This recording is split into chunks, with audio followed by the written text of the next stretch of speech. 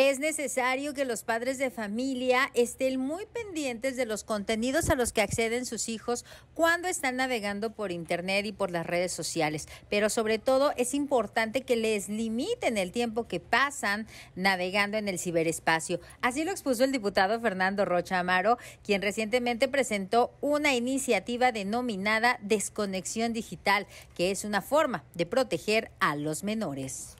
Pues hace días hizo un llamado la ONU, un exhorto eh, a, tanto a países desarrollados como a los que no son desarrollados, porque las niñas, los niños y los adolescentes están padeciendo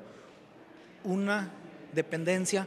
al Internet, una dependencia al teléfono, a las tablets, en donde desafortunadamente y por más supervisión que, tengan los padres de familia, pues en algún momento, en un descuido, pueden acceder a temas de pornografía, a temas de videos, a temas de fotografías violentas y, el Internet y las redes sociales es el lugar perfecto para aquellos acosadores que quieren mantenerse en el anonimato. Entonces, pues tenemos que cuidar a nuestras niñas, a nuestros niños y desafortunadamente se está creando una dependencia. Durango no es la excepción. Supimos hace pocos días del caso de una niña que se suicidó porque le quitaron le quitaron lo que fue el celular y en ese sentido pues es, una, es un compromiso que tenemos que hacer tanto sociedad como las autoridades en nuestro ámbito, estar fomentando la cultura de la desconexión digital. Están perdiendo los valores y los niños, pues lo que tenemos que fomentar es que hagan algún deporte y lo menos que puedan estar pegados a lo que es el Internet y a este tipo de aparatos.